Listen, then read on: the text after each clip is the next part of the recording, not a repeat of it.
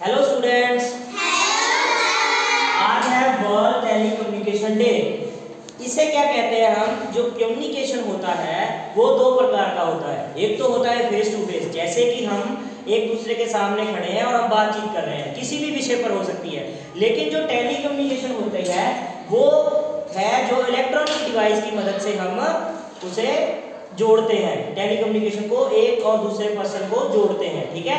ये जो electronic device है, उनमें लैपटॉप मोबाइल्स कई प्रकार की चीज़ें हैं जिससे हम एक दूसरे के साथ कम्युनिकेशन कर सकते हैं। एग्ज़ाम्पल के तौर पे अगर हमारा कोई साथी हमसे दूर, हमारी स्टेट से दूर या हमारे देश से दूर बैठा हुआ है तो हम उसके साथ कम्युनिकेट कैसे कर सकते हैं?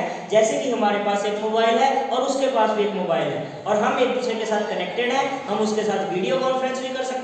और वॉइस ऑडियो कॉल भी कर सकते हैं।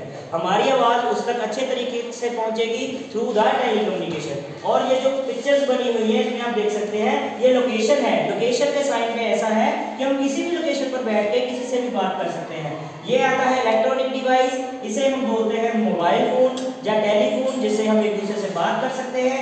ये है इलेक्ट्रॉनिक वेव्स वाला टावर जो हमारे मटेरियल जो हमें मिला हुआ है इलेक्ट्रॉनिक मटेरियल उसे जोड़ता है एक दूसरे से। मतलब कि दूसरे की रेंज हमारे साथ जोड़ता है। और ये आ जाता है टावर जो एक दूसरे के साथ कनेक्टेड होते हैं।